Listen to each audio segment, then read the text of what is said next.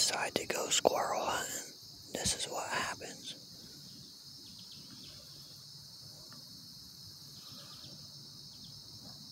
Now, if it was bow season or gun season, that fucking whore wouldn't be laying right there.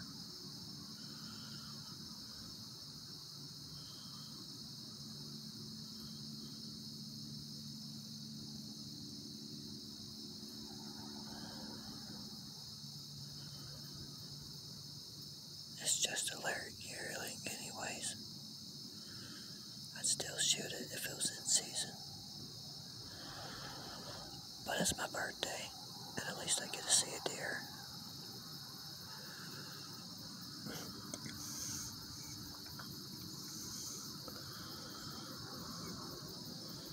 Ten yards from my stand.